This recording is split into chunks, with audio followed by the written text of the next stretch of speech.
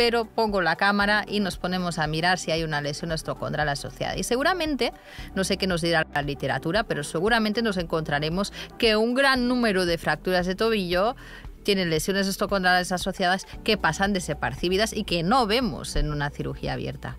¿Y esa es una oportunidad, no, Eva, si, tenemos, si estamos con una artroscopia en las manos? Claro, eh, lo que sí que está claro que los artículos dicen, ya pases al siguiente nivel que sería reparar o es diagnosticar. Diagnosticar.